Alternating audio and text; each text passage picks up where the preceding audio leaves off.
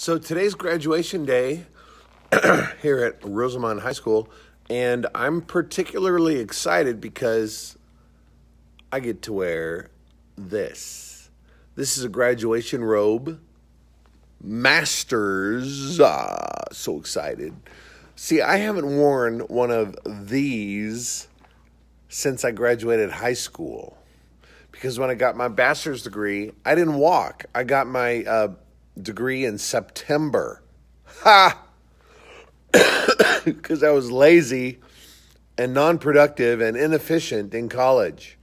I was having way too much fun and loving the ladies.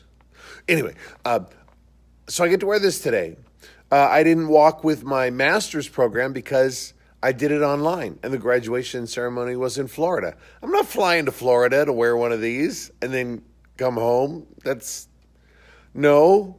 So um, anyway, I'm wearing this today, tonight, and I'm so excited because uh, I spent an hour this morning ironing it so it wouldn't have any creases. It's very, uh, very professional.